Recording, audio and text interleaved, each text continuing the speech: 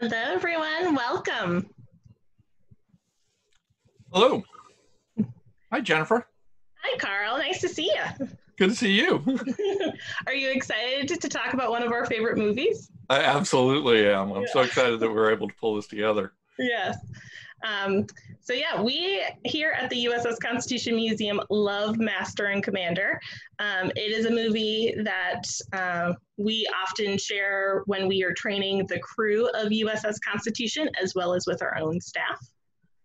And it, it's a fan favorite.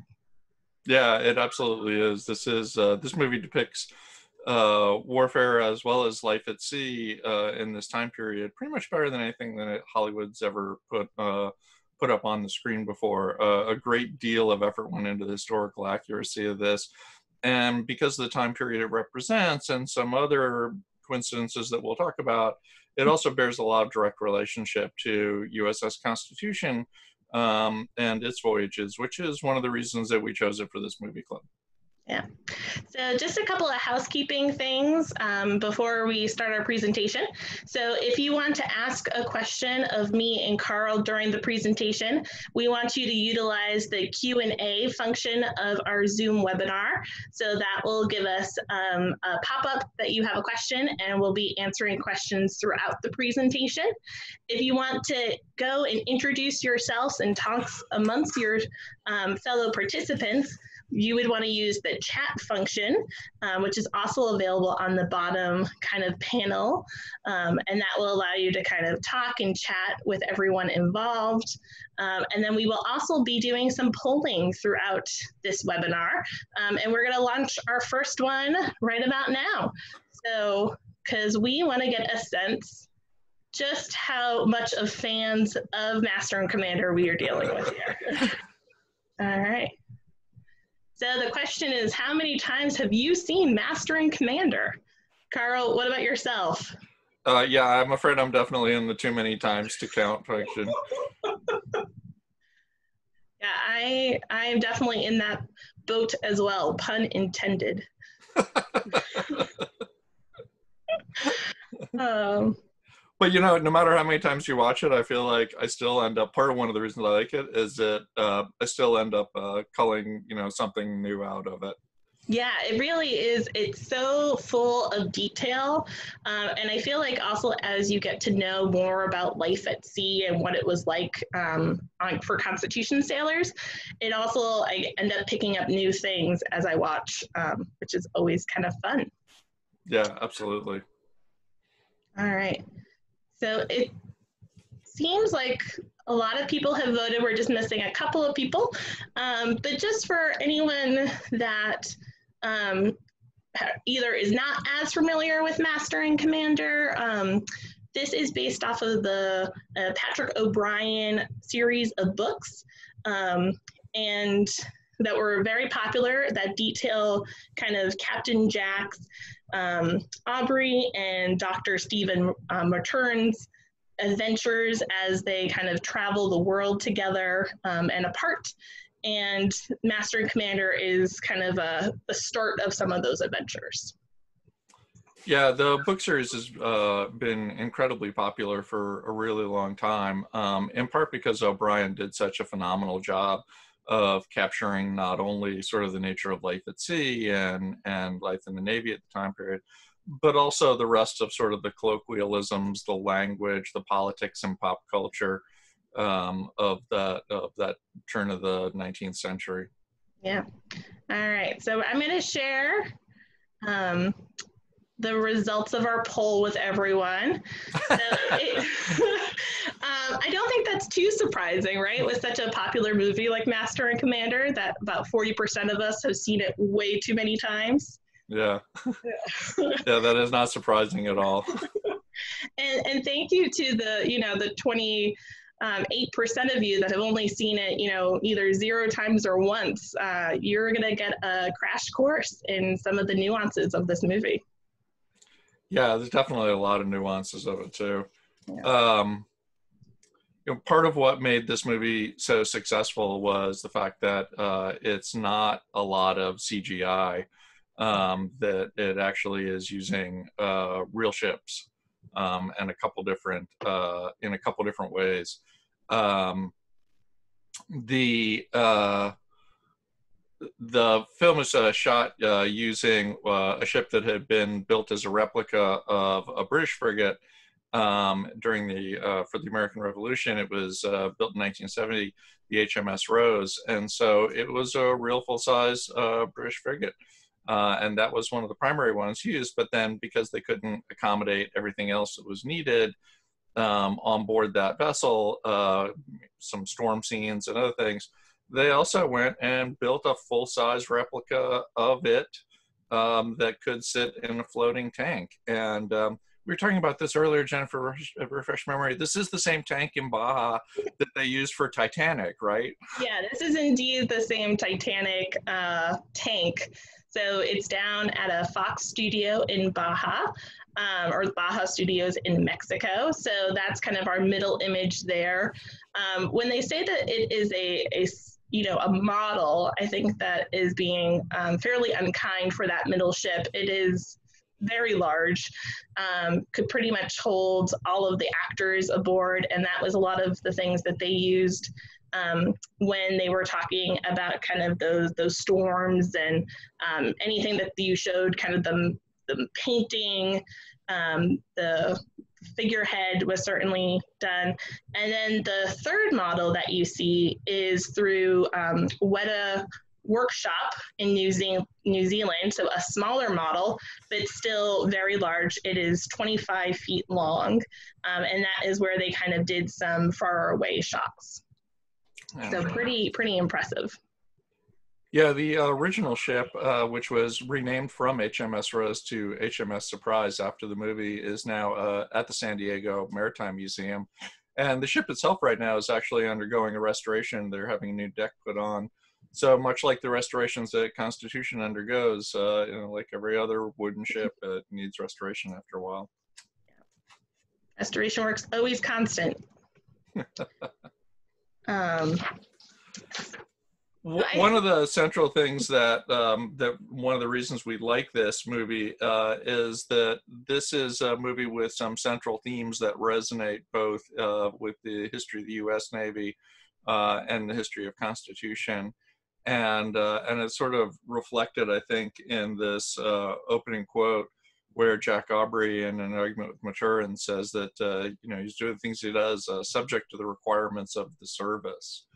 Um, which you know jennifer and i have been talking about this a little beforehand about whether or not this was uh, adhering him to the rules or indicating just how much leeway these captains had in deciphering their own rules.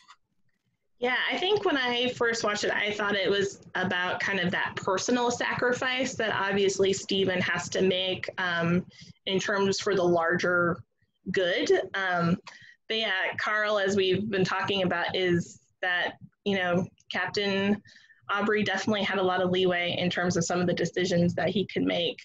Um, yeah, part know. of that reflects too. This, this comes from the quote. Actually, comes from when you know Maturin wants to go. He said, "Oh, you promised me," and he says, "Yeah, I can do it, but subject to the requirements of the service. That service comes first. And which hints at the fact that this is not only a film about leadership and command, but in that particular instance too, this is a buddy movie, uh, right? Like this is the you know the story of the captain and his best friend, the physician, uh, and how that friendship uh, you know reaches a breaking point um, because that friendship is bumping up against these very distinct roles and responsibilities uh, that the captain had for leadership and command of the vessel. Yeah. So I think we should probably look a little bit about what exactly the the orders that the captain is given. Um, so let's look at those. So this is one of the, the first shots um, in the movie, and it is, you know, to intercept the French privateer Acheron en route to the Pacific, intent on carrying the war into those waters, sink, burn, or take her a prize. Yeah, wow, that's um, pretty direct and pretty dramatic. Um, yeah. probably more dramatic than would have likely been the case. Uh, sink burner take her as a prize. Yeah, probably actually, if anything, in the reverse order. Um, but I'm not sure that you would have seen um, a lot of orders, especially for these like far flung frigates, um, uh, because of the fact that their communications were so slim, they were going out for months uh, at a time. And you wanted to give them very broad brush orders that met broad uh, strategic or operational goals um, to either intercept shipping, uh, find the enemy, um, and if it was to, you know, to go protect that shipping in another ocean from the potential of privateers, something as specific as intercept this one particular ship and destroy it almost really narrows him down and in a way that is um, neither particularly likely historically or um, or very um, you know accurate given the leeway that he takes in the rest of the movie. Yeah, I think this was something that when we were talking about historical accuracy, and I said, you know, that early decision about after that first battle with the Acheron and the ship is in, you know, in a fairly big disarray. And a lot of the lieutenants and the sailmasters saying, like, uh, you know, she is a much larger ship of her class. Um, I'm not sure if we should go up against her. We are, you know, I think, you know, with the supplies that we have, we can turn around. Um, and you know, the captain says, "No, we're gonna we're gonna continue to pursue." Um, initially, I think I was a little taken aback. But you know looking at these orders maybe that's something different so we kind of want to ask you what your opinion of was that a good decision was that not a good decision? Um, what would you have done in that situation? So I'm going to launch another poll, um, and we want to get your opinion of whether or not you would choose to, to turn back or if you would keep chasing. Yeah, so, again, the details of those orders are kind of directing him to do that, right? But he also has the way of recognizing that with the damage that he took, uh, you know, did it make more sense to go in? And, uh, you know, and the answers are uh, not always uh, clear cut. Uh, in the case of Constitution, Charles Stewart, um, you know, uh, feeling that he needed to go back um, into port, did go and was ended up facing um, an inquiry, a board of inquiry about why why are you back here? Why have you cut your cruise short so much? Why did you come back instead of staying out? Uh, and there too, you know, he uh, fled larger numbers to even get back to port. Yeah, I know, tough, tough decision. Um, and Carl, you already touched upon this, but we you mentioned that kind of these orders are so specific versus normally you would get kind of a really broad, um, you know, task to kind of go and and patrol or look for you know this type of activity. Um, and the reason uh, for that right is because of the communication of the time period. That if you were out at sea having such a specific order um, would really kind of hinder you. We see in the movie the challenges of getting a message back home um, when they stop into port to kind of retrofit, and we see them kind of sending their mail, um, and it's just like you know the next ship that is, is going towards England, hand these off. Um, so yeah, I, I think that's definitely part of it, right? Yeah, absolutely. Uh, again, you know, you as as uh, an admiralty, as uh, the authority over the fleet, you know, you there was no satellite communications, right? You're not getting email every day going, "Oh, we've changed our mind. Go over here instead." Um, you know, you set orders, and the ship sailed over the horizon, and that was it for months. And uh, you hoped that um, that they would stay in touch and and fulfill um, you know, fulfill the goals of their orders uh, as best as they could. And again, also based on the changing circumstances and uh, that they find and the information that they find on the ground. You know, if they discover a fleet somewhere, um, you know, go there. Uh, you know, wherever they deem the threat to be. Yeah, and that kind of relates to a, a Constitution story. Yeah, I mean, you know, that this idea that these ships were so far flung and traveling all over uh, doing this is reflected in Constitution's cruises during the War of 1812 uh, as well. uh, this particular map is actually off of our website, off of um, a series of exploratory uh, pages that you can use to go through the ship's 1812 cruises. Uh, and there's an interactive logbook that allows you to go step by step and see how these decisions were made. You can actually also read the logbooks on our website. Yeah, but really this path is Bainbridge's path on the second cruise during the War of 1812 and he was uh, sent out to find British shipping and you know nearly completely crossed the Atlantic looking for it before heading south, uh, all the way down past the islands before cutting back over to South America and uh, and eventually uh, meeting the enemy off the coast of Brazil. All right, so let's see kind of who amongst our participants are turning back or who is keep chasing. 78% of people are keep chasing. um, so I, well, thankfully, because that way we still have a movie and a book series. yeah. Um, what do yeah. you think you would have done, Carl, if you were in that, that decision of the captain? You know, it's kind of fascinating in that regard too, because the he's he's continuing to chase, but the decision isn't so much do you continue to pursue.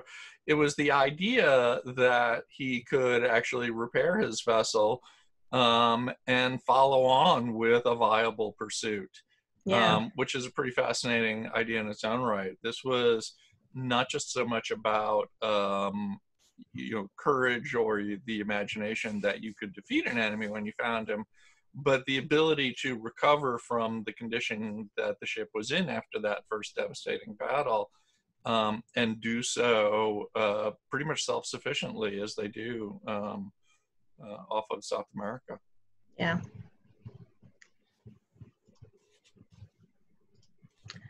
Yeah, I again, I think I, I kind of gave my answer away. I think my initial reaction was I was kind of with the sailing master and I, I was heading home. Uh, but but I think I think from a lot of our conversations, um, you have you have turned me around. Also, I do not want to be like Charles Stewart and get court court martialed. Yeah, I, uh, you know, and then again, there that was a slightly different set of circumstances, yeah. but um, but again, you know, where where do you draw the line too, right? Yeah. Like that is another one of um, of sort of the uh, decisions of command uh, that was um, even more difficult when you were completely out of touch with any kind of, of authority or backup or support. Mm-hmm. Um, you know, they were trying to uh, meet up where they could in Stewart's, uh, excuse me, in Bainbridge's case, in the second cruise, uh, he had actually hoped to meet up with uh, Porter, Dave Porter, on the Essex when he was down there, so that they could um, you know, have that backup and cruise together in those waters in the South Atlantic.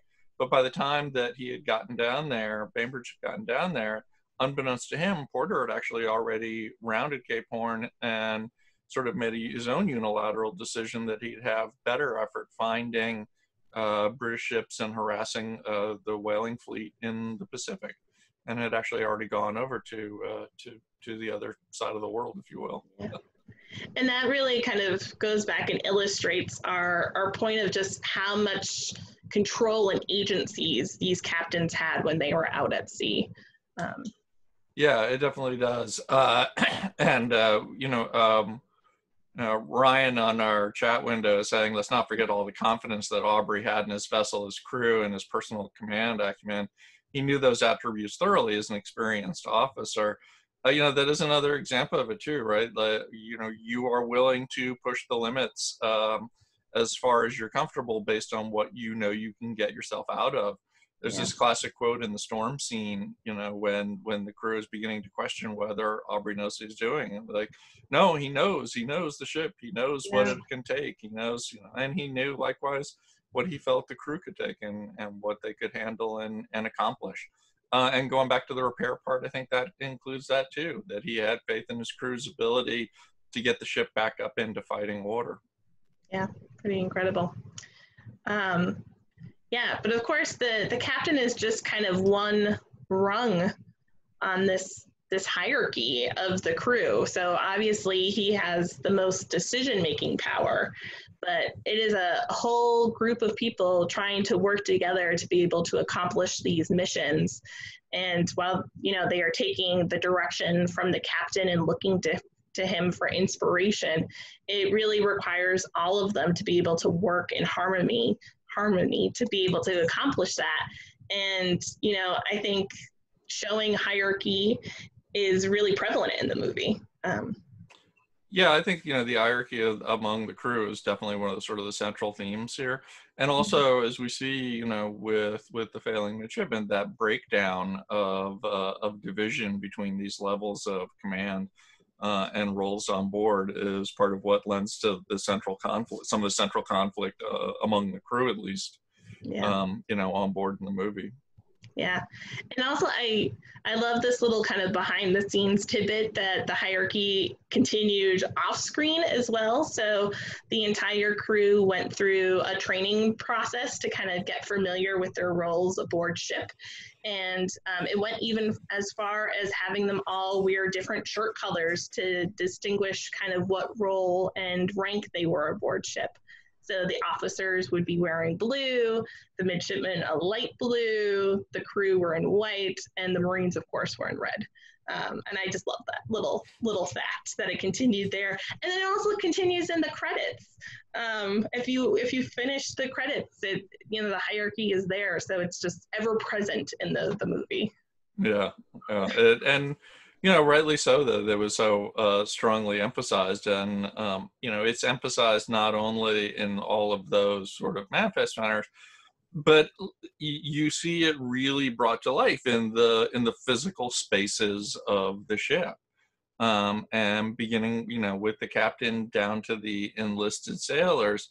We see them physically divided up, um, you know, along the spaces of the ship, and those spaces reflect um, you know their roles their levels within that hierarchy and their responsibilities yeah so i think we should take a little bit of look at the, that hierarchy and those spaces so we have of course first off we have our captain here um, russell crowe looking very pensive in his his captain's cabin um, but I love this shot one because obviously Russell Crowe, um, but then, but then also just looking at the dressing of this captain's cabin and looking at the grandeur and the space. Um, you know the fact that the the captain has this luxury of being able to open the windows and get fresh air and fresh light um, is something that is really not always something that the rest of the crew has.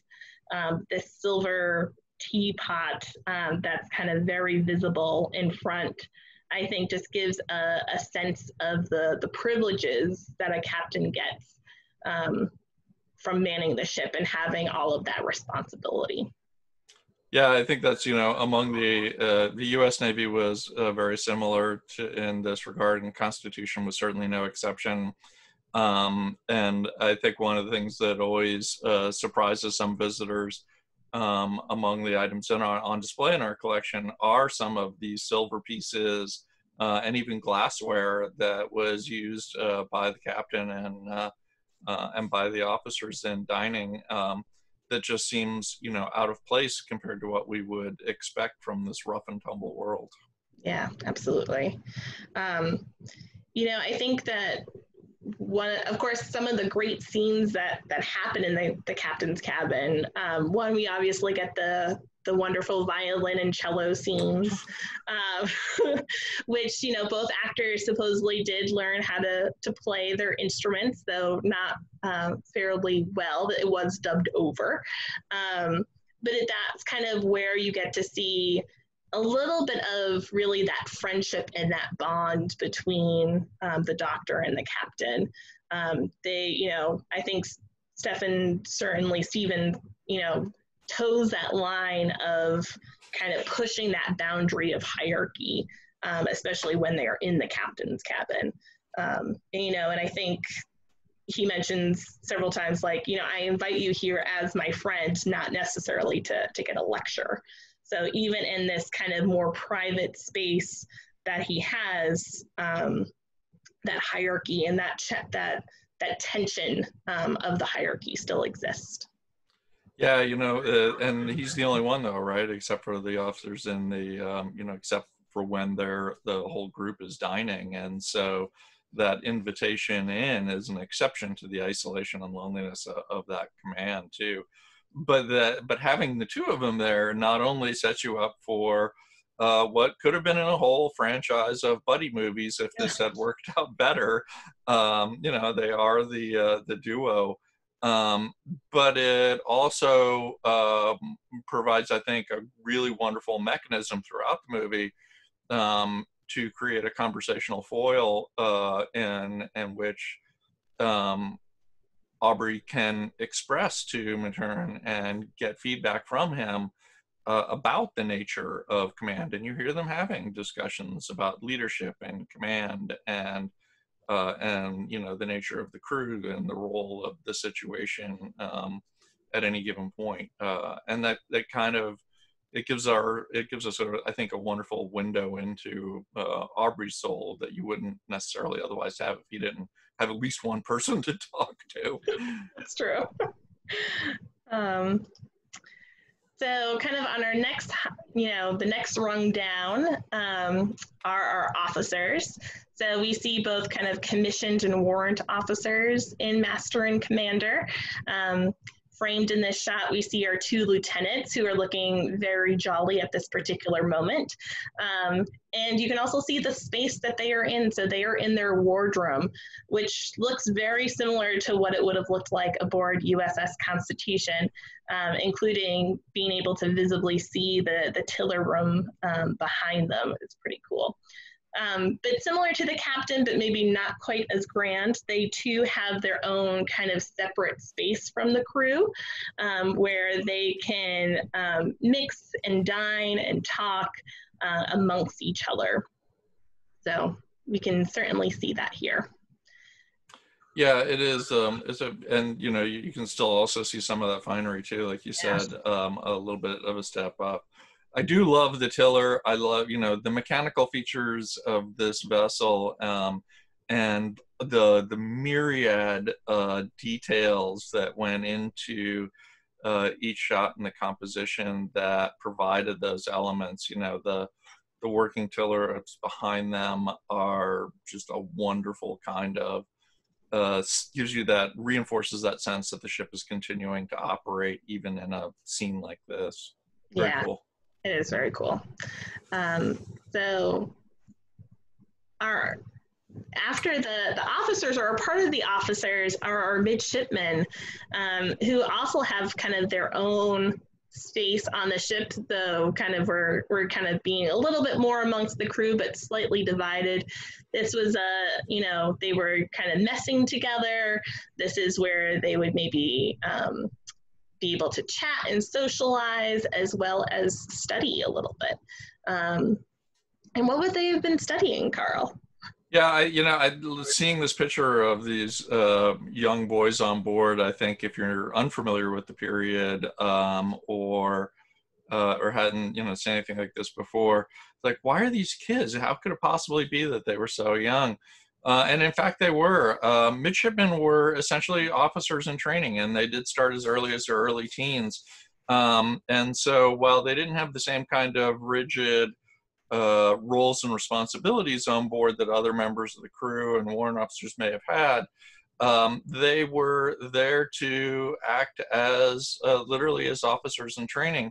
So part of it was doing the role, performing the roles that an officer would have had. And we see that numerous times throughout the film. Uh, but then also uh, studying and learning. There's this wonderful scene uh, where Aubrey is guiding them all in, uh, in navigation. Uh, and each of them would have to perform you know, navigational calculations and maintain their own copy of what amounted to a copy of the ship's deck log uh, that became known as a midshipman's journal. And it was by and large a verbatim um, duplicate of the ship's uh, official deck log. But because each and every midshipman on board was keeping one of them, uh, there ended up being far more of them out there than than obviously the single official deck log. And so, from a historian's perspective, midshipmen's journals have been incredibly wonderful, especially for us at the Constitution Museum, uh, because where we've been able to uh, acquire a number of journals kept by midshipmen on board USS Constitution. Uh, and, and in a couple of cases, they fill in gaps where uh, there is no deck logbook that uh, that survived to today. So really fun stuff. Um, and the midshipmen, as we see in the film, could go up the ranks and get a officer's commission fairly quickly, or if they were less successful, some of them could languish. True. So after our midshipmen, um, we have the enlisted crew. So this is a, an image from the movie of the crew kind of up in the uh, forecastle of the ship they are, are messing and so they are eating their their dinner and they are socializing and this is kind of you get to see the camaraderie amongst the crew um, i think one of the things that is very briefly mentioned in the movie that is kind of an interesting um, thing to consider especially comparing between the hms surprise and uss constitution is that um, Maturin does mention that some of these sailors were impressed um, to work there. So where in the on USS Constitution, all of the, the sailors would have been um, voluntary. So I think it's pretty amazing to see the camaraderie, uh, the willingness to trust the captain. Um, and I think that he has really a wonderful command of his crew, but it is kind of an interesting thing to have in your back of your mind as you're thinking about the differences between uh, these two vessels. Yeah, and as the third of these, like know, fourth of these major sort of divisions of space and sections, uh, the forecastle uh, up forward, um, not only more crowded, but uh, physically the least comfortable, uh, you know, part of the ship. Um, and uh, yeah, and they are clearly very crowded together, um, which you know does uh, generate potential camaraderie, but can also generate potential conflict too. Yeah. And then, kind of in a, a whole separate division of our, their own, we have our Marines. So here we see our Marines kind of gathered all together. They are hearing their orders um, for the final battle. But the Marines aboard ship were kind of not a part of the, the normal hierarchy, but rather stood alone. As we see in the movie, they have their own captain, Captain Howard, um, who would be kind of helping to command this, this group. Um, and they were essentially the, the soldiers at sea. They were the ones that were helping to keep discipline aboard ship, and then they were also the ones that were in the, the fighting tops, um, helping to do be sharpshooters at the end, as well as they would be kind of going over in the boarding party. So, of course, we see pretty much the entire crew go over in the boarding party master and commander. Maybe we'll talk about that too when we get to it. Yeah, there's definitely some leeway here. You know, I, I always I'm always fascinated by the depictions of the Marines and this stuff because um, I think we particularly, you know, uh, in the U.S. Uh, have a perception of the the Marine Corps that is largely generated from history that begins with World War II.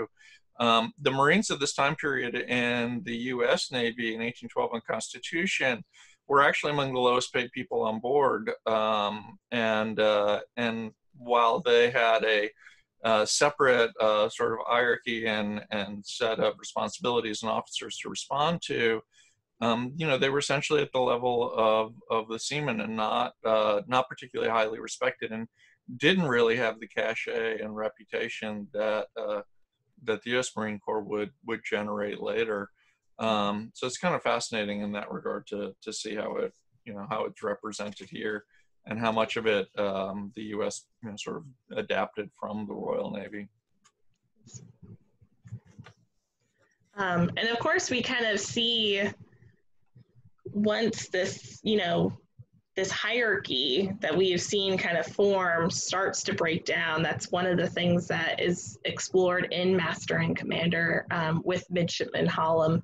And the you know, the unfortunate crumbling of the the respect um, that happens fairly early on, which you know we can see kind of right here when there's a really kind of um, moment of you know lightheartedness and there's some singing and he ends up joining in and doesn't end up going so well. Yeah, I, I love the scene for that very reason too. And, um, you know, I think that one of the things that happens when we discuss these hierarchy and, uh, and levels among the crew is the sense that, that that was a one-way street, right? Like, you know, that what we mean by that was that the lower levels weren't going to rise up and, and insult the upper levels. Um, you know, and, going back to the Marines, right? Like that was one of the classic things the Marines were stationed in between to, you know, to keep the sailors up forward from murdering the officers back aft. Um, but in this case with Hollom, who so desperately wants to be liked uh, and be part of that community, he's violating those levels in the opposite direction. Uh, and the crew doesn't want him to be part of them. And as uh, as Aubrey tells him later, uh, you know, chastising him. You don't have to be a tyrant, but you can't be their friend. They won't respect you.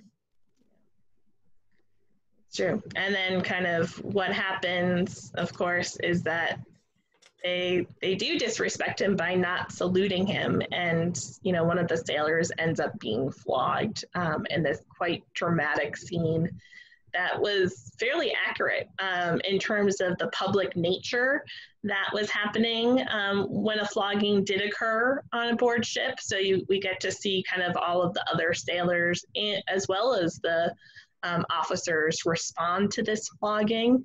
That was something that happened both in the, the Royal Navy as well as the United States Navy. Yeah, this is another one of those things I think we often don't recognize uh, as having occurred within the U.S. Navy and even on Constitution. Um, you know, physical punishment, that corporal punishments did definitely still exist and, and you know, was commonly in use uh, from captain to captain or situation to situation.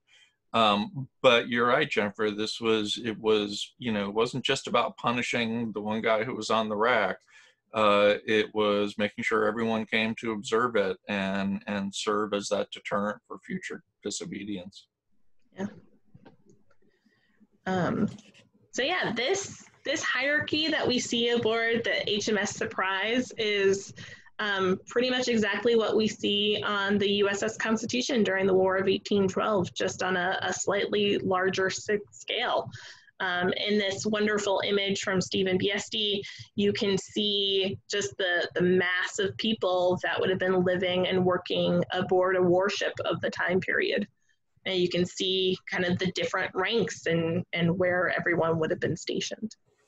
Yeah, this um, this visual is actually another one that's off of our website and is um, available in a couple different places actually. Um, both the museum's uh, website as an explanation of crew ranks, uh, but also on our new website, A Sailor's Life for Me, excuse me, where you can explore these.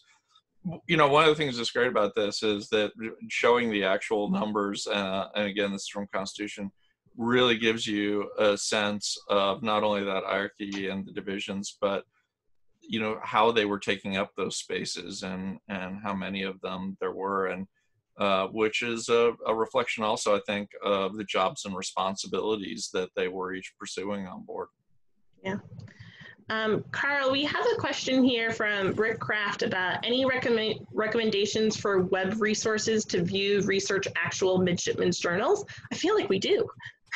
Yeah, actually, uh, we do. There are um, a couple of them that uh, I always think, do we have them completely um, on our uh, website?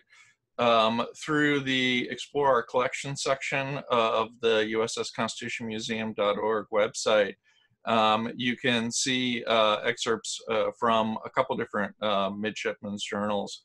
Um, I, I, don't even know how many totally we have. In addition to the journals, we also have watch quarter station bills that were maintained by the lieutenants, which is another similar resource uh, that are like wonderful uh, to explore.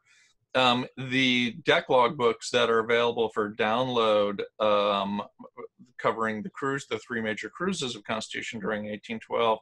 Um, because one of those deck logs didn't exist uh, anymore, um, it is uh, represented um, by one of the midshipmen's journals. Cool. And a transcript of that is actually downloadable. Of all those, actually, are downloadable as uh, printed, transcribed uh, PDFs from the website.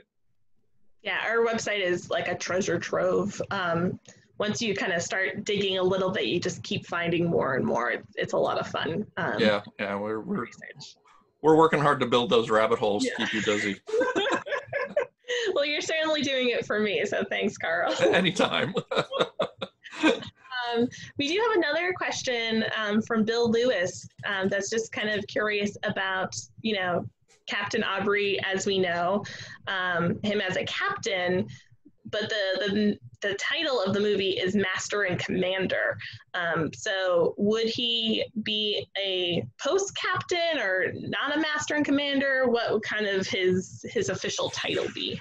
Uh, well, so it would it would partly depend on uh, you know the rank he was at, um, and uh, in you know the U.S. Navy was um, nominally different, but this is also a reflection of O'Brian's work, and um, I suspect there are um, better O'Brian experts uh, among our audience, possibly even um, than I am. But it started out as um, Master and Commander was the first book that uh, Patrick O'Brien wrote not really anticipating this was going to be as prolonged a series as it turned out to be.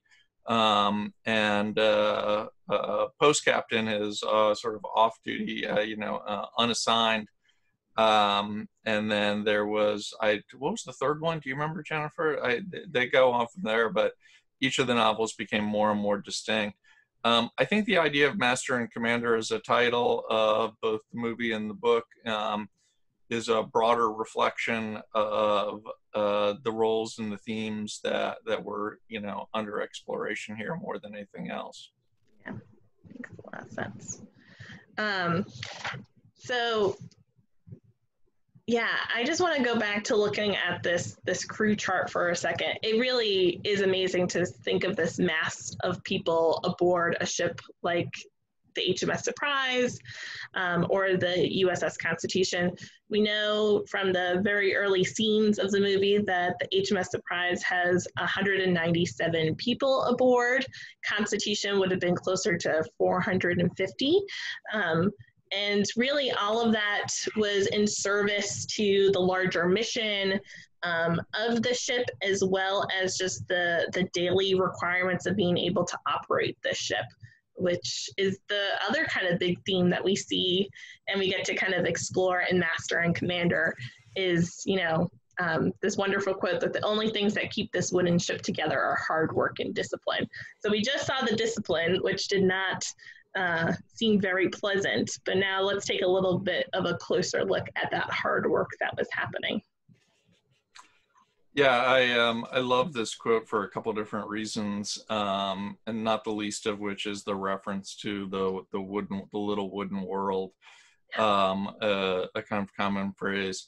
Yeah, the amazing part um, about both this depiction um, and life at sea in general uh, is that it is a microcosm. Um, you know, there's a paradox that comes with going to sea on a ship because on one hand, you are going out into the greatest, most open, broadest part of the world possible, um, the open ocean uh, that will take you to other unseen, you know, uh, parts of the world. And so your world appears to be opening up in grand, exciting ways, but at the same time, it has suddenly shrunk down to being um, you know the the couple hundred feet in either direction around you uh, and that and that few hundred people that you're sharing that tiny space with uh, beyond which you know you you can't exactly leave. Yeah. Sounds a little bit like our our staying safe at home a little bit. Yeah. At least yeah. we have zoom uh, now being on a ship is being in quarantine. Yeah or as Samuel Johnson said, you know, uh, being on a ship is being in jail. um, so just to kind of give you a sense of the nature and the rhythm aboard a ship like the HMS Surprise and USS Constitution.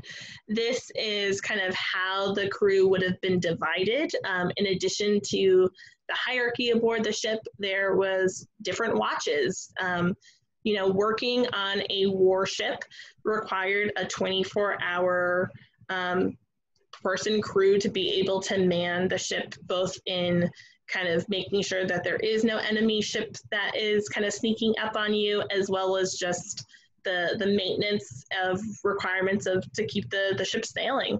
So we get to see kind of in this wonderful chart that again is from our website, just what is happening throughout the day for the different ranks aboard. Yeah, and I think that this this 24 hour rhythm, right, is is one of the great uh, other aspects of the film is this how well it sort of depicts depicts this. Um, you know, as we frequently say, uh, uh, Constitution, I'd like to think of this as, you know, three big bulks of responsibility, right? You're maintaining the ship, you're operating the ship, uh, and you're training for the, the ultimate goal of the ship. Yeah. Um, and I think probably one of the things that just starts getting my blood kind of um, running is in the very beginning of the movie where we get to kind of see a little bit of the starts of this rhythm. And just to kind of remind people of that, we're going to play you a little clip. I think what Alan just said in the chat, you know, being able to actually see everyone in that space really does bring it to life. And I think that that's something that Master and Commander um, does so well is it really does populate this these historic spaces that we're so used to kind of seeing empty or or full of tourists. Um, but it really gives you a sense of that rhythm and just kind of how tight and confined that space is. Yeah, I think that there too, it's another one of these cases where, you know, seeing this uh, again uh, in existence is even uh, better uh, you know, whenever we can, in trying terms of trying to uh, display and interpret uh, the ship at the museum and with the active duty sailors on board, you know we're not slinging up 400 hammocks, so much less putting people that many people in them. So yeah, yeah, you don't get that sense until you until you see it all together. Yeah. Um, and then you were talking about, Carl, kind of the different responsibilities that are depicted um, and that would have been happening aboard a ship. So, kind of that daily maintenance is certainly one of the things of holystoning um, or kind of sanding or scrubbing the deck. Um, and that would have been something that was happening every single day. Pretty much, yeah. There's, uh, you know, there's a wonderful sort of sequence to this opening of the movie that I really like. That you know we start with those um, that changing of the watch and those functions that occur you know with every watch right um, uh, and then it it breaks it into sort of the rhythm of the day where we see the kinds of um, maintenance and upkeep and cleaning activities that would have been happening on uh, on a daily or weekly basis um, and then it it steps up from there. Um, you know, and again, the holy stoning was something that that was part of that. Uh, and then it steps up, and we see them um, actually operating the vessel, right? Uh, you know, up in the rig, furling sails, setting, striking, um, uh, trimming sails, bracing yards, uh, things that you know may happen once in a day or could happen numerous times in a specific watch, depending on uh, changing conditions and the need uh, the need to change the sail plan. Mm-hmm. Um, but again, you know, the work of the vessel uh, and the work of, of the men on board doing that. Um, this is a great shot too, a screenshot from this because it gives us a sense of that perspective as well. Um, even on USS Constitution today, the active duty sailors who are assigned there, um, one of the questions they ask is, "Are you afraid of heights?" Yeah, and it's something that we normally ask in our exhibits as well as on the A Sailor's Life for Me game. It's part of the recruiting questions. Yeah. Uh, and then the other thing that we see a lot of throughout this film, especially after the initial battle, are some really substantive uh, repair efforts that are happening on board. Um, and you know, repair and maintenance and upgrade, up, upkeep were something that was going on all the time.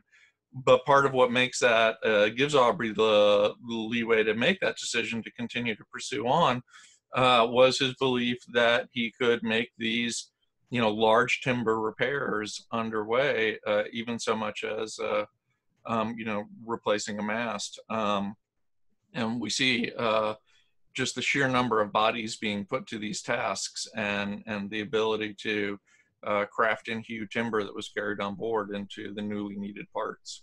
Yeah, and I think that that would be something, uh, you know, for someone that is more of a novice, for our 28% of people that saw this movie either zero or one time, I think that the the amount of repairs that could be done underway or in ports um, and just the redundancies that are available on a Navy ship is something that um, is really essential and something that you see in the movie and might be surprising if you're not familiar with ships of the time period. Yeah, the self sufficiency was uh, was pretty impressive. Um, you know, it, it it helped to find the endurance right that they yeah. had. Uh, you know, today we think, well, how far can you go? Is how much fuel you'll have on board. Um, but when you know when the fuel is free uh, in the form of the wind, then your endurance is uh, how much food and water you have on board and your ability to keep the ship in operating order for as long as you can. Um, all right, so now we get to to talk a little bit about we've we've talked about the daily routine that we get to see in Master and Commander and some of those those odd tasks that would have happened either every few weeks or when repairs were needed. Um, but now we get to go into kind of the the really exciting parts um, well, it's all exciting, sorry. Uh, the really exciting parts to me, uh, parts of the movie, which is the battle scenes.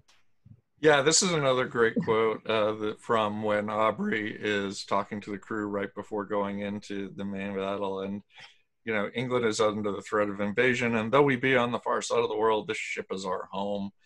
Uh, this is great for so many reasons, right? Um, you know the uh, England was under threat of invasion, but they're on the far side of the world, uh, which is a wonderful, succinct way of speaking to um, the nature of the, of the Napoleonic Wars as as a world war um, you know, that this was England's under threat of invasion.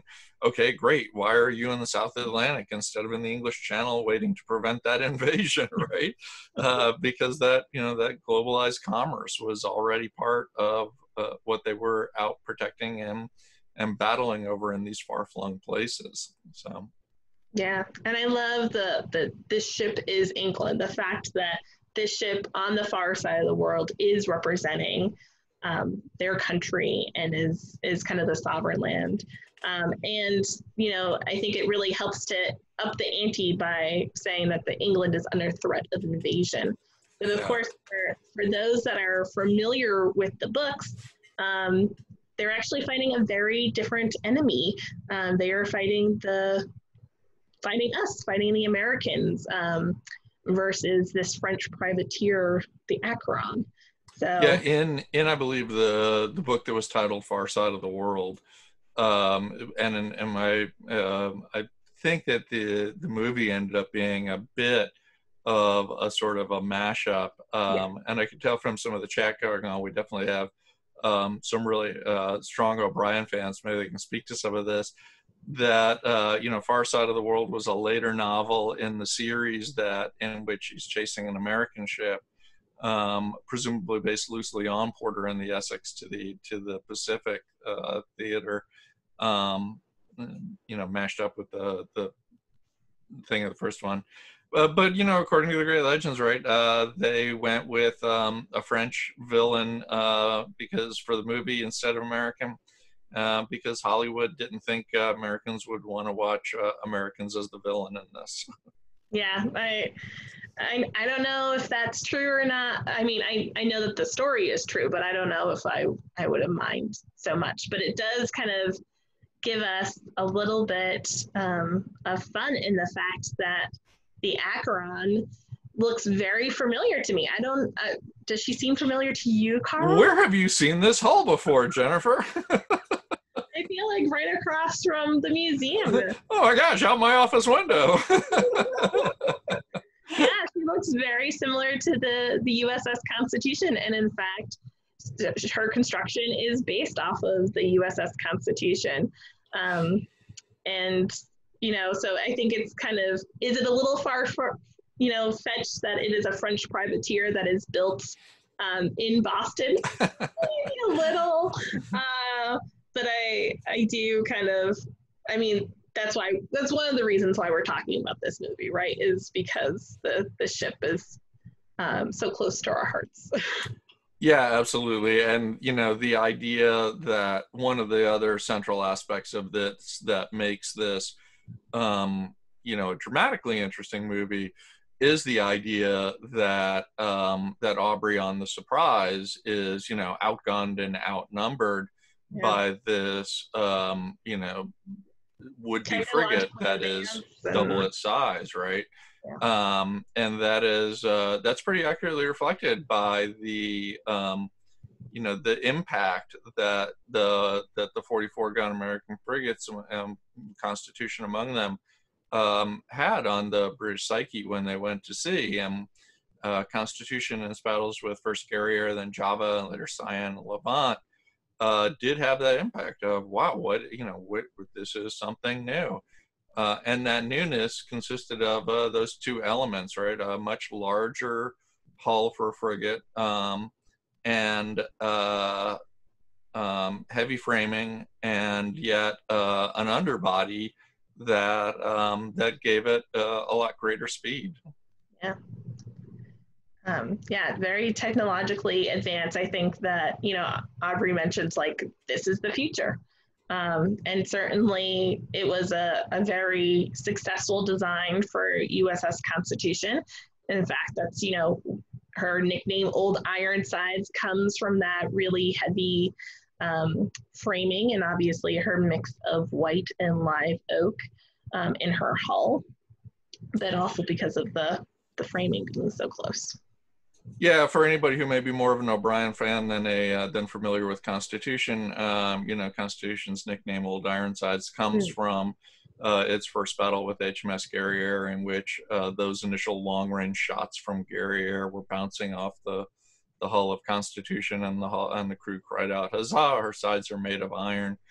Um, but you know, it wasn't it wasn't uh, the idea of an armored side, uh, you know, uh, hull that led to this construction design uh, anywhere near so much as it was that the the heavier, denser live oak that made up the framing of Constitution um, was by virtue of its density uh, more durable, longer lasting, albeit more expensive um, to build, but that in doing so um, that also provided some strength to the hull that allowed you to build out a design that could maintain uh, this underbody profile uh, and still carry a much greater number of larger, heavier guns. Yeah, pretty incredible. And I just want to, uh, we did share out in the chat this wonderful link um, out to the Smithsonian channel that I hope you will um, you know, right click and open up in a different window and watch at your own time. It shows the impact of different shots against different types of hull, and it really gives you a visualization of just the damage um, and the protection that the hull um, of USS Constitution had for its sailors. Yeah. Um, yeah, the the fighting too. The you know when we talk about gunnery and um, and damage to the hull, uh, it brings us down to the gun deck and to the really sort of raison d'être of the ships, uh, which is uh, firing uh, at each other. And one of the I think really great aspects of this movie is the um, the demonstrations of the vessel as or these gun teams as a teamwork as a really highly orchestrated um, group that is practicing and training and doing it over and over again improving their time uh, that they can you know uh, walk through all these steps.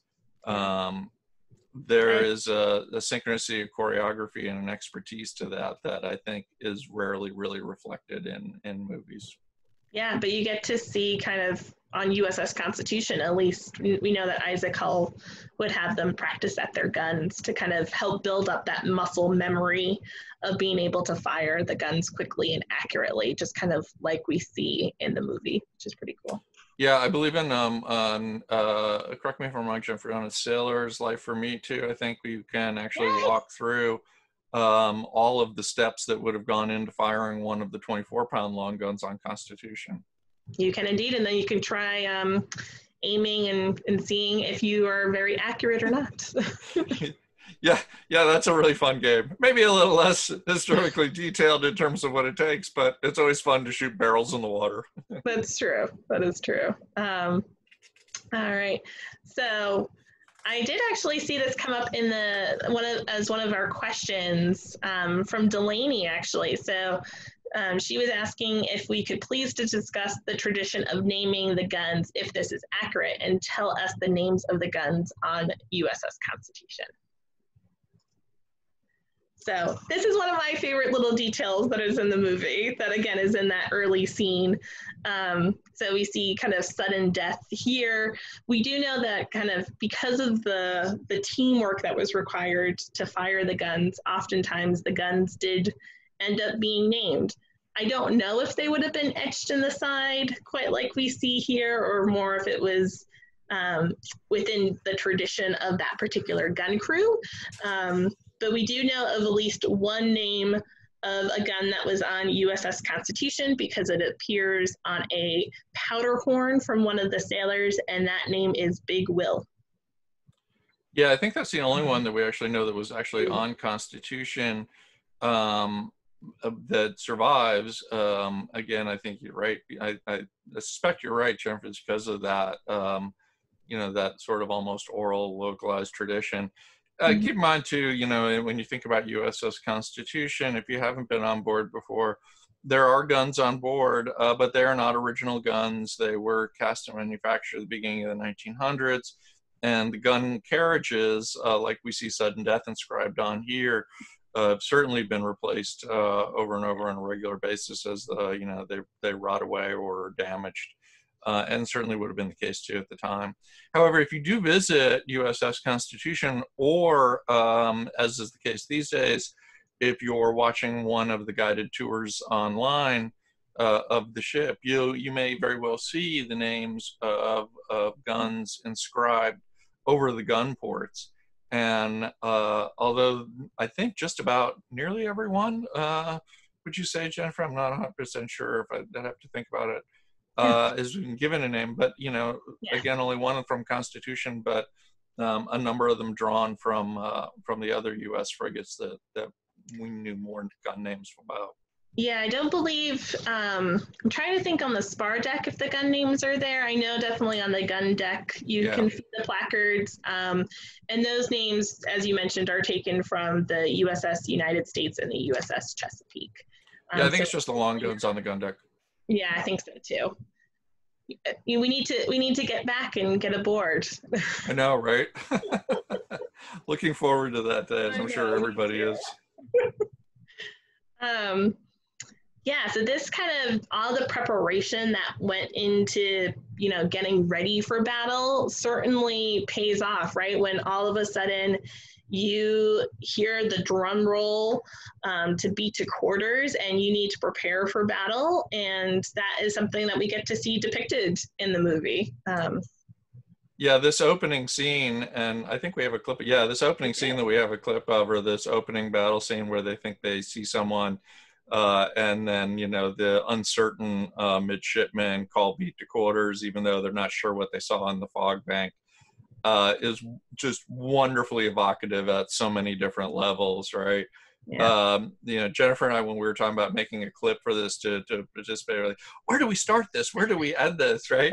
Because like, you know, we, we want to show the entire process all over again um, uh-huh. you know the the collapsing of the bulkheads uh, down oh, below you know such the, a great shot right and uh, you know the choreography of uh, of that again like you were saying jennifer muscle memory right of of like this is the steps that have to happen and have to happen immediately and swiftly because we're under threat Um, but that threat, as we see here, is is you know uncertain at best, and then unfolds incredibly dramatically. All right, let's take a look. In Constitution's history, that um, you know, while there was a an attrition nature, attritional nature to the fire in terms of the damage it was doing to both the crew, the rigging, the hull itself, uh, you know, there was the potential for that that one critical hit too that could have a really disabling effect. Yeah. Um, and certainly we see that in a number of instances in, in the narratives of Constitution's battles. Yeah, absolutely. So as we kind of move forward from that, um, and that's kind of, you know, at the end of that battle, you know, they end up starting to use the atmosphere that they have, the fog, to be able to try to escape because of the um, the dominating nature of the Acheron and the damage that they've taken. So there's a lot of kind of deception and using different tactics um, to try to kind of get the upper hand against the Acheron. Yeah, well, you know, I, I don't think um, in that, uh, you know, you and Jennifer, you and I were talking about this rowing scene, right? like really they were rowing that fast to escape from the ship that was sailing so fast uh, toward them that you know it had a bow wake going on yeah probably not um but you know in an absolute to get to that fog that's all they yeah, need. right yeah yeah um but in an absolute still wind uh you know was it feasible um you know constitution off of the coast of new jersey on her first uh forward during 1812 encountered an overwhelming number of uh, British ships and squadron and, and decided to try and flee. And as they sought to do so, uh, the wind died for both them and the ships that were attempting to pursue them. Uh, and they put out longboats not to directly row the vessel, but to kedge, to carry a small anchor forward, drop it, and uh, and let the ship uh, kind of you know leapfrog with the anchor along. And over the course of three days of doing that, managed to escape. Um, so there too, that operational nature, although it may have been a little exaggerated in that case, is great too. Yeah. But the deception part, you know, here this smaller ship is trying to gain an upper hand against this larger ship. And in the wonderful, like, you know, final confrontation of this movie, they disguise themselves as a whaler with the thick black smoke. And uh, and I think as Aubrey put it, the lubberly, you know, sailing maneuvers um, don't look too sharp up there yeah. Uh, and it lures the ship in close enough that they can do the damage. Yeah. What is that damage? Um, so of course they are able to to set that trap.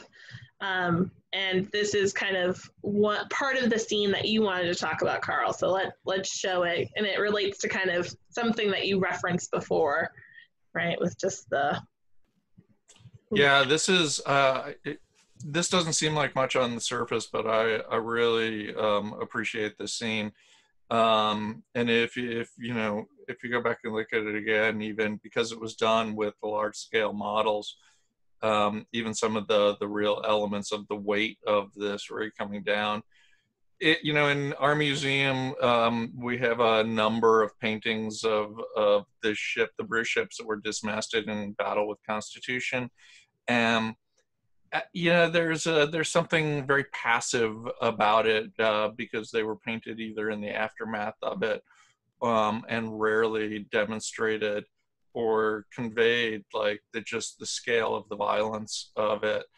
Um, but having you know this was being able to take down the mast of the enemy ship uh, obviously was disabling their engines uh, but it did an incredible amount of potential damage. Uh, as we see in the storm section of the movie later on, you know, when they lose a section uh, of the upper mast, they're forced to cut it away because it's dragging them down. And here too, that would have been the case. Uh, and you know, when it doesn't seem that uh, big, I, am fond of telling people, you know, when you think about how dramatic it is if a tree falls down, you know, on your car or your house or your yard, uh, during a storm, common up here in New England, um, then you know you begin to get a sense of how dramatic that is. Only imagine the tree is a uh, you know 200 foot tall oak, yeah, with with all of its associated branches, and right above you. Yeah, and right above you. And oh yeah, and by the way, you may have been actually climbing up in it when it came down. Yeah. Um, and of course, that bringing down the mast and disabling some of the maneuverability of the ship is a, one of the things that allows them to be able to kind of get close enough to, to actually board um, the Acheron, which we can kind of see here. Though they're not, I mean, they are close enough that they're they're using kind of the the, the hooks to, to kind of try to get a little bit closer as well. Yeah, you know, boarding is. I feel like boarding is a feature of uh, of every uh, you know maritime age of sail movie, right? Like, you know, as, as our if our movie time, if our maritime movie club takes off, we'll we'll probably be talking a lot more about boarding in the future, right, Jennifer? I think um, so. In this case, you know, boarding um, frequently was the result of of a, you know a need to uh, come across after ships had uh, uh, in, intentionally collided. Um, yeah, the, as we see with the the Constitution and the HMS Guerriere, where they there is an almost boarding party, um, and then eventually, you know, unfortunately, that is when with you know Lieutenant William Bush. Um, you know, dies, but the ships separate, and there is actually no boarding party at that point. Yeah, boarding is a fairly precarious, um, you know, uh, decision to make because you are uh, really giving up the sense of control that you you have over the situation. Uh, you know, ideally, and this is why you know Aubrey wants to lure them in closer to begin with because otherwise, this larger, heavier ship could lay off at a greater distance out of the range of the the guns of surprise and just batter it away. Uh, which was an effective tactic uh, for a lot of larger ships here. Mm-hmm. Um, but they, you know, having dismasted it and feeling like they're on the step, they they take the next step toward boarding. Yeah, and part of that, of course, is using our Marines um, with their their their guns to be able to to fire into the enemy to kind of try to disarm anyone that wasn't uh, injured by the mass falling. Yeah, the uh, the Marines are not only we see the Marines in a couple of places and these battle scenes, which is kind of great. They're in their traditional role up in the tops as sharpshooters uh, in this opening scene, and then they are uh, charging into the fray across. Yeah. Um, eh, you know, before we move off this, uh, one other thing that occurs to me that um, is kind of fascinating about this, I'm thinking about it because I saw the officer here. The um, the great thing about the closing out of this big dramatic battle scene, I think, too, is the uncertainty of whether it's actually over, right? Yeah. Um, you know, we we don't really know when uh, when they've completely taken the ship, and so um, you know, there's still a little bit of chaos and lingering uncertainty among the crew. And I I think there was actually even uh, uh you know a scene somewhere where Aubrey says. Uh, have they struck their colors? Well, we're not sure, but we pretty much got them. Right. Yeah, and then of course the the surrendering of the sword um, by the surgeon. Um,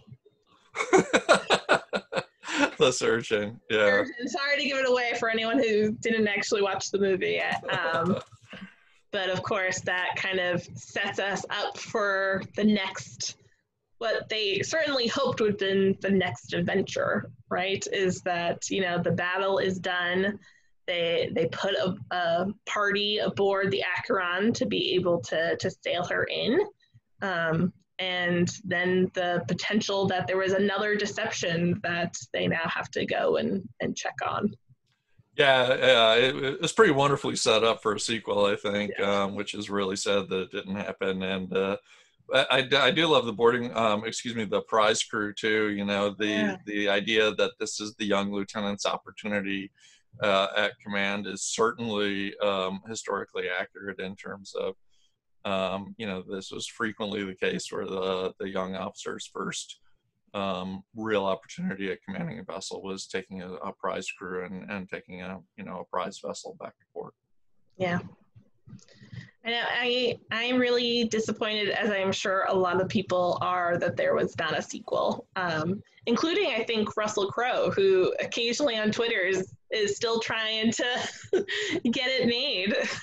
well, you never know; it might work out for him, right? Uh, uh, it, it, certainly is that similar things have happened with other franchises being resurrected. Um, yeah, certainly, uh, you know, everyone in the maritime community uh, bemoans the fact that this uh, more of these weren't able to get made. Uh, certainly, I think the director and producers had anticipated this becoming a franchise.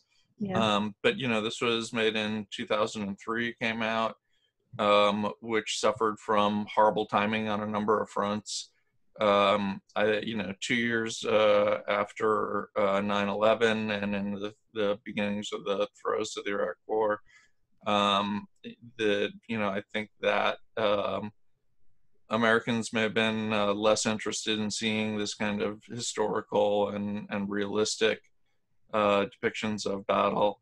Uh, but you know, at the same time, um, Captain Jack was uh, competing. This Captain Jack uh, was competing with uh, um, with the other captain. Um, the Pirates came out the same year. Is that right? The first one. Yeah. Yeah. It, it did very well, and obviously has had lots of sequels. yeah. So uh, yeah. So push came to shove, Americans wanted uh, Pirates of the Caribbean more than the accurate uh, Royal Navy, uh, yeah. and it was also competing with Lord of the Rings, uh, which I think is second to one of the second or third. I can't remember now of these came out that year too. So uh, very sad. Uh, but if Russell's out there making a, a pitch for it too, then um, uh, Russell, if you're watching, we're right behind you. We'll be buying tickets uh, as soon as we get this next one made. Yes, we support you. Come on, let's do it. yes, exactly. Uh, and as I said, the um, you know the HMS uh, Surprise, the former HMS Rose, is is uh, still at the San Diego Maritime Museum. Uh, and a number of other similar uh, replica ships have been built uh, since then that are uh, you know, sailing the world's oceans right now, um, participating in sail training and, uh, and historical interpretation. the French frigate, a replica of a French frigate, came to visit the U.S. last year that was built since this movie was made. Um, that is remarkably, again, in line with these depictions um, and a couple other similar ones have been built since. Yeah. Um, so Carl, do we want to answer some of the, the questions that we've gotten in our Q&A? Yeah, um, I've been kind of glancing over at the chat here as we've been talking, but I haven't actually uh, seen the questions. What do we got? Yeah, so um, one of the things is the British favored firing at hulls, the French at rigging. Did the U.S. have a preference? Um, from Jason. So, um, you know, in part, um, that uh, the origins of, of that idea of British and French distinctions in, in doctrinal firing uh, echoes back to fairly early on in the development of, of fleet command and control uh, and the development of these broadside, um, you know, armed uh, naval ships. Um, I, I, have not seen in the, the, the work done uh, a specific sort of, you know, uh, doctrinal direction along those yeah. lines. If it's feasible to do so, um, and you think you can be successful, uh, taking down the rig is definitely preferential in that if you can preserve the hull, you can tow it back to port and refit it and make use of it as one of your own and that certainly happened a lot uh, with both the U.S. and Royal and French navies during this time period, um, where uh, you know ships came swapped back and forth as prizes, and as long as the hull was able, you know, in good enough shape to be repaired, it could go back into service. Um, so that can't happen if you're firing directly at the hull with the intent of sinking it. Uh, which was also a little bit, you know, less likely to be the immediate outcome of the battle. The battle would likely um, be brought down by either the ship's inability to maneuver and bring its gun to bear, or the fact that you killed so many of their crew that they could no longer operate the guns. Um, but if the damage to the hull was too extensive, then you faced the proposition of losing the vessel as a whole. And that certainly happened in the case of Constitution with both Guerriere and Java, where the Constitution did not sink the ships in battle, um, but took them as prizes. And then once they went aboard, realized that both hulls were in too bad a shape to make it back to port to be rehabilitated as prizes and were scuttled on the spot. Yeah.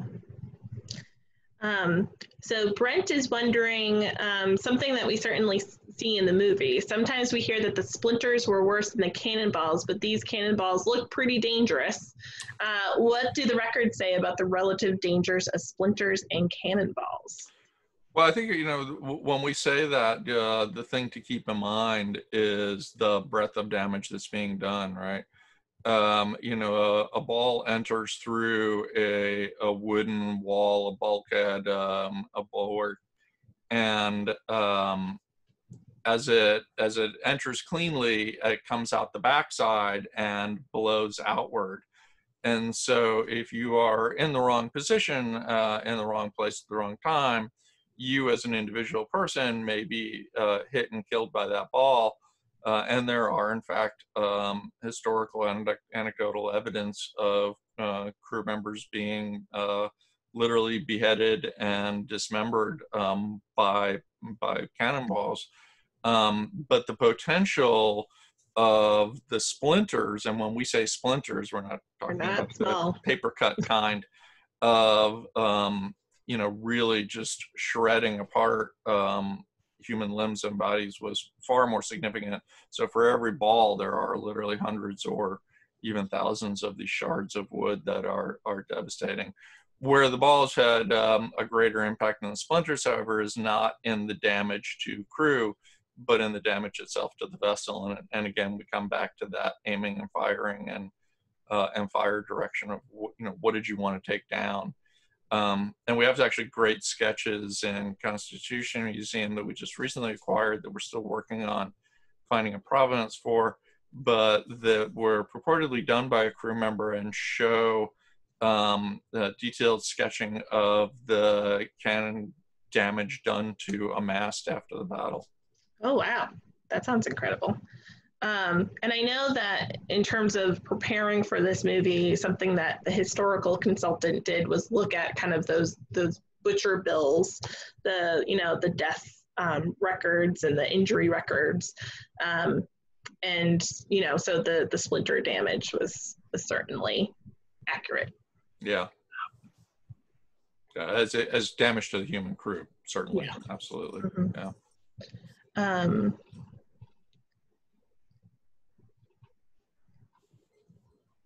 So I do see, and this might be more of a question for some of our audience um, that maybe some have, have already answered, is are there any other series that you recommend? Maybe the Hornblower books?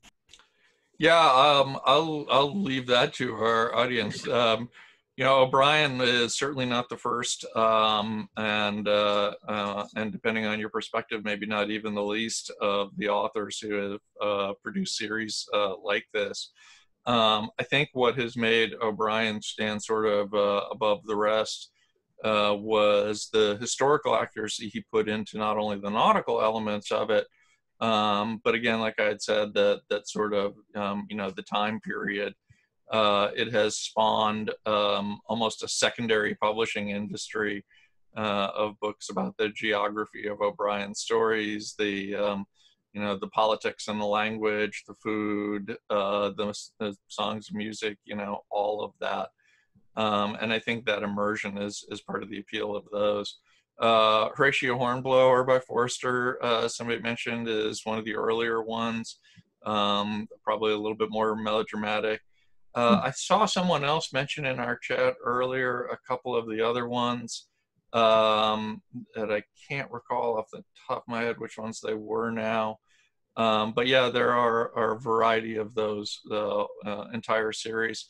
Uh, Jim Nelson is an author who in the 1990s uh, began producing a, a, similar series, but based on um, uh, based on American uh, uh, captain. Um, and then Kate is asking, in real life, would a ship so much smaller and outgunned have been expected to take on such a superior vessel? I think this is this is kind of going back to one of our first questions of, you know, is it is it prudent to actually go and chase this this larger vessel, or is it better, especially if you are damaged, to turn back around? Um, yeah, I think that I think that David and Goliath aspect of it is part of what makes it, you know, kind of an appealing story, right? Mm-hmm. That this is where they are under, you know, outmanned, outgunned, but it's the strength of the crew and its training and and seamanship that carries the day for them. How mm-hmm. realistic is that? Uh, I think we see evidence that, at least evidence that the role of that training and preparation of the crew played a huge fundamental um, impact in the success and outcome of any given battle, um, more so than I think we sometimes give it credit for. And certainly, there's you know no battle uh, in the American side that more represents that than the the loss of the Chesapeake to Shannon where uh, Philip Broke, uh, the British captain, had trained immensely with his crew and was ready to go and and was you know essentially the aubrey of his time and chesapeake went out uh, unready unprepared and and untrained and and was pretty rapidly lost as a result. Yeah. I guess i i do want to just point out that it's not I think that there's maybe because we see, you know, the HMS Surprise go up against the Acheron and this other kind of glorification, there were in fact times where it was more prudent to outrun um, the enemy. You know, we certainly see that with with USS Constitution, um, where it's not on their side, and you know, the United States had a limited amount of ships and and sailors, and sometimes that was the the more prudent decision. I'm just making a case for it. I'm just making a case. no, I'm right there with you. And so were the, you know, so were the commanders. That's the reason Hull went to such great efforts to try and escape that squadron in New yeah. Jersey, right? And it's the same reason that Stewart was uh, trying to get away from the ones off of Marblehead. And once he got into Boston, it's the same reason the Constitution stayed bottled up in Boston for most of that year because the the blockade was effective enough even to keep her from getting out to you know to fight against effective numbers. Yeah. Um, well i think that we could just keep talking about master and commander for a very long time. There and as we mentioned there's so much detail to explore um, and there's so many connections to uss constitution um, that we could just continue to go on. And we certainly, you know, would love to hear from you if you do have follow up questions that you want to explore. Um, or if you want to dig in a little bit more into the history of USS Constitution, uh, we certainly recommend our website at usscm.org, um, where you can find out kind of, of upcoming events as well as dig into some of those um, research that Carl has been doing and see some of our artifacts and um, that online, which is really cool. Yeah, I apologize. Sorry, we couldn't get to all of the questions. I'm scanning yeah. through and I'm seeing even more, and they'll continue to go on uh, feel free to you know continue to post them and we'll uh, we'll look for ways to answer your questions either directly. You can always query our um, if you've got specific more detailed research questions you can always query us at the uss constitution museum. Uh, we have a little bit more delayed uh, time frame now uh, under the given the current pandemic circumstances. Um, but we are continuing to respond to, to those requests as we get them. And uh, let us know what you think yeah. And also let us know if you want to see another uh, maritime movie club. Me and Carl are currently debating about the next one. Uh, so I am I am team Pirates of the Caribbean. Uh, I really want us to watch Captain Ron. I'm just saying. I, I, think they are both fun. So uh, we may be sending out a survey. So if you want to give us your opinion about what to watch next, uh, we would love to hear from you and to get your feedback about how today went. Um, we certainly appreciate you joining. And we will also be um, sending a link to where you can rewatch um, this webinar if you are so inclined. Yeah, this will be recorded and kept. Uh, and thanks for coming, everybody. I'm seeing the chat streaming. Oh my God, there's movie ideas already coming over uh, from other people in addition to the other ones. So, uh, Maritime Movie Club may, be, may very well be back, and uh, some of it may be more fun and lighthearted uh, and less concerned with the historical accuracy and connection. But uh, but there are also a lot of movies out there that continue to provide really wonderful insight into history. So thanks everybody for joining us uh, in this unique venture tonight. Yeah, thank you so much. All right. Have a nice night. Yeah, have a good night.